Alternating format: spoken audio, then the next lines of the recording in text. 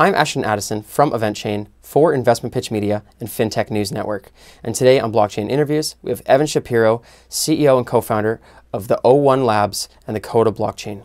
Evan, thank you so much for being on the show. It's a pleasure to have you here today. Thanks for having me. You're very welcome. Let's start by understanding a little bit more about the Coda blockchain project. Can you, first of all, explain the solutions uh, that Coda provides and what makes it different in the industry? Yeah, sure. Um, so the the challenge is that I mean the core property these protocols have is decentralization, and this property is sort of like under threat and not exactly where we want it to be for a lot of crypto projects. In particular, like uh, you, the only way to really have full permissionless access to a chain is if you download the whole history. Uh, that's the only way you can fully verify it. Uh, but this is out of the reach of most people and is be- increasingly becoming out of the reach of like basically anyone unless you have like a big uh, company to like run and download a whole blockchain. They're hundreds of gigabytes, uh, mm-hmm. uh, bordering on terabytes for a lot of them. And, and that's just kind of like unreasonable for like, especially if like you want to use these things permissionlessly on your phone or on your browser. Um, and like, never mind access, like participation is just not going to happen. Mm-hmm. Um, we've built a cryptocurrency with a very, very small blockchain that's only the size of like a few kilobytes using zero knowledge proofs. Hmm. Um, and this lets you download that zero knowledge proof instead of downloading the hundreds of gigabytes of the entire chain. And that gives you full verifiability of Coda, our blockchain, um, as well as like permissionless access because you can just check a little proof and you're good to go. Mm-hmm. That's really interesting, Evan. I know the Bitcoin blockchain is like a terabyte or more, and if you want to actually be a network participant and be able to validate transactions, then you have to have the whole blockchain. You're right, and it's totally unfeasible to have it on a computer. Um, however, in that blockchain is you know a, a, record of all the transactions from from the beginning of time. Um, so it's interesting what you've done with Coda uh, with zero knowledge proofs. Essentially, you've taken a snapshot of uh, transactions and you know and you're basing the new transactions off of that snapshot rather than the transactions themselves. So you don't really need to download them uh, on your computer or on your device. Is that right? Yeah, I mean, if you think about like the system today, like you don't need like your transaction history like three years ago to use your credit card. You need to know mm-hmm. what your current balance is. You need to trust like your balance, you like the uh, merchant's balance. You need to trust everyone's balances, and you need to be able to check the transaction actually goes through. But you don't need to know like three years ago what was happening. Mm-hmm. That can be like an auditor or someone. Yeah, definitely. So that's been a huge uh, downfall for people that are looking to run full nodes. Um, and there is this level of decentralization where there's enough for in Ethereum, for example, there's 30,000 different nodes that are verifying transactions, but there's hundreds of thousands of different participants. Now, does everybody that is a participant in the network need to run a node or should they? Is that what Coda believes? I mean, we think so. I mean, it really depends, right? Like, there's two ways I think of using cryptocurrency. There's maybe a few ways to use cryptocurrency right now, but like the two that we care about is like everyone should be able to participate fully. There shouldn't just be like, you know, a consortium or cartel of people who run the chain. So anyone should be able to do it. You should be able to do it. I should be able to do it. Everyone. And then also, um, it should be the case that you should be able to access it permissionlessly. So right now, if you use Ethereum, you have to like basically ask Infura for permission if you're a developer, and you have to go through Infura if you're like a consumer, um, or through Coinbase or whatever. Um, and, it's not really using this technology the way it's like can fully be possible. It's the, the real potential is everyone accesses it permissionlessly, no matter where they are, no matter mm-hmm. who they are. But, but, but it's not really the case right now with the, um, the way these systems are set up. Yeah, that's really interesting. And a lot of people are familiar with Ethereum because it's uh, so large and has a large community. And right now, the consensus algorithm for Ethereum is proof of work, and they're moving to proof of stake. Is there a, a similar consensus algorithm for people to uh, verify transactions on Coda, um, or is it different because you don't have that size there? Yeah, so it's actually um, you do need to like when you're designing the consensus algorithm, take into account that you have to apply it to a chain that's going to be backed by zero knowledge proof. But with zero knowledge proofs, you can express any computation, so you can kind of convert any consensus algorithm to being zero knowledge proof compatible um, with, with a, enough work. Mm-hmm. Um, we use proof of stake in um, in Coda, in particular, a variant called Ouroboros, um, which lets like any number of people basically participate in the consensus. Mm-hmm. Um, so we're actually doing a thing called the Genesis program right now, where we're looking to bring on at least a thousand people mm-hmm. onto the before mainnet, so they can like get a grant of tokens and be part of like the initial like staking cohort. That's great, and that leads into my next question on, you know, developer activity to have mainstream adoption of a blockchain, it, you really need to have developers that are developing applications that people are going to use. Um, are there incentives for developers to move from developing on Ethereum or EOS to developing on Coda now? I mean, like, not at the moment. There's like nothing we've announced, and like, really, honestly, like the way I kind of think about it right now is developing on a cryptocurrency right now is very hard. There's a lot of things, technologies you have to learn about and chain together if you want to really build something. Mm-hmm. Um, and I think that's why the incentives need to be there right now. It's just really hard. I, I think that like with what we're doing, um, it should be way easier to build something. At least we're hoping. Um, mm-hmm. And with that, um, we're hoping like it's just like a still lower barrier to to the barrier of effort that you can start building something, maybe something that you can even have revenue off of, or like you know uh, something that can be successful uh, with less effort than if you had to um, you know figure out the whole Infura MetaMask Web3 stack. Definitely. And with Ethereum, it was made in a way that developers needed to learn Solidity, which was a whole new programming language just to you know build on Ethereum, whereas Neo has all these system development kits that you know you can build a library of programming languages that many developers that aren't familiar with blockchain already know. Is it easy for developers that aren't in blockchain to come to Coda, or do they need to have uh, technical knowledge about blockchains to be able to develop? That's the intent, yeah. Um, our current API uses something called GraphQL, which is like accessible basically anywhere. Um, and like as we like start um, implementing and adding support for like full like you know more programmability, that'll hopefully or will be in like JavaScript and other Python and things like that. As a library, you can like call into versus like another programming language you have to learn. Mm-hmm. Yeah. And right now, Coda is in its testnet stage, uh, if I'm correct. What's the uh, timeline been since you? when did you first start working on the project, and when did you guys launch the testnet? Oh man, so it's it's it was a while. So uh, I think like maybe like June 2017, uh, we started working on it. Um, and by start working, I mean like we like sat down to code like in, in our living rooms and started building.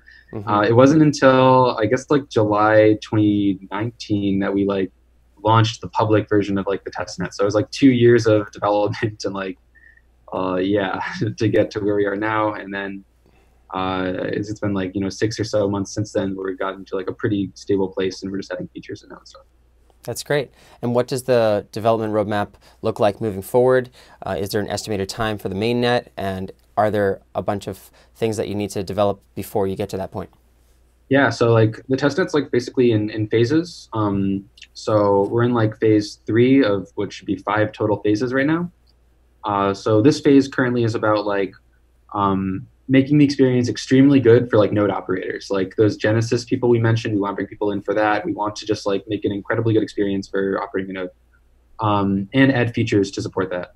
Um, what's coming up next is like our phase four, and phase four is going to um, basically be a test of the economics of the system, as well as like adding in some more development SDK kind of features. And then we have phase five, and then phase five is going to be like a full like adversarial like testnet. Um, where we're really going to like test to make sure it's like super secure before we launch it. That's great. And you already have a community of developers. Uh, are they are they already starting to work on applications on Coda, or it's all just you know on the foundational layer right now? Oh, we're, we're I, like it, right now. We're basically everyone's working on like kind of node operator level stuff. Mm-hmm. Um, we think like building a strong community around there and participation is like the place to go, and we'll build from there. Um, so like not like end user apps, but like little tools for like uh, node operators. Mm-hmm. That's great. And and what kind of partnerships have you guys closed, or are you looking to close to bring the Coda blockchain into the mainstream world for for enterprises or for customers, or how do you foresee that playing out? Nothing we've announced yet. I think like um, there probably will be things, um, but at the moment it's just kind of like we want to bring in like hobbyists and like grassroots community people because uh, mm-hmm. we think that's like where this technology can get started. Um, yeah. That's great. And do you have uh, any idea when the mainnet's launched, whether there will be specific use cases or industries uh, that this would be best applied to, or are you letting developers just free roam and, and develop whatever they wish using the, the protocol? I mean, like, I, I think there's like a lot of possibilities. So we want people to build whatever the heck they want. Like, I think that's exciting.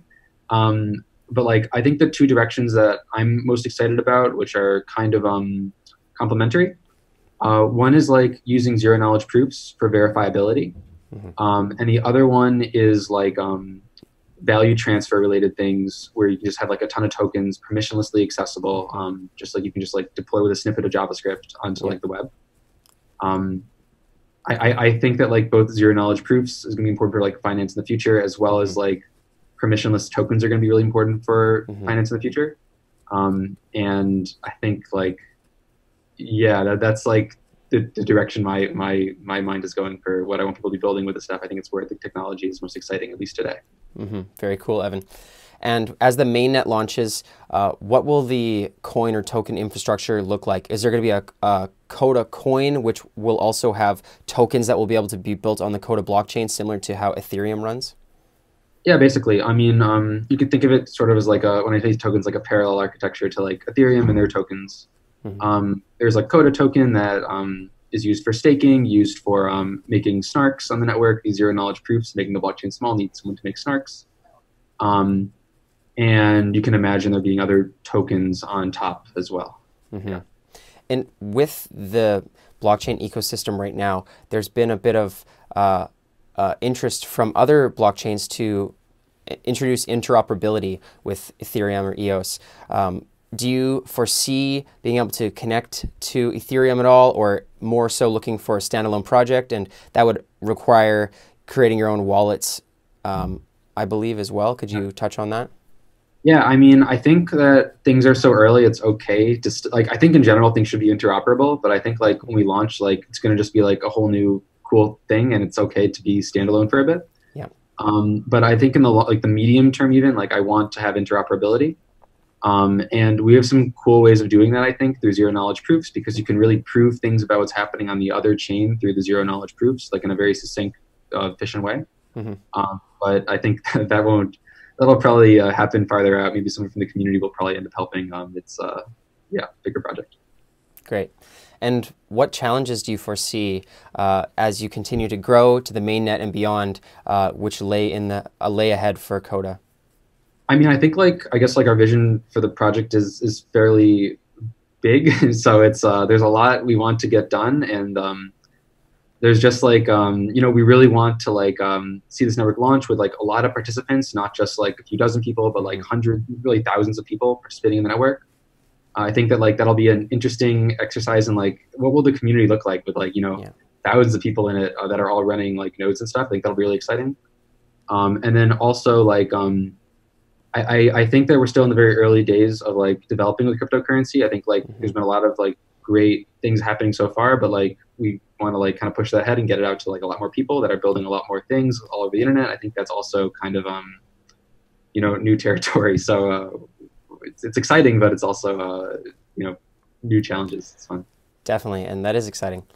Um, so, what is your current uh, development team and your whole team? You know, how large is your team, and are you expanding developers as you move towards the mainnet?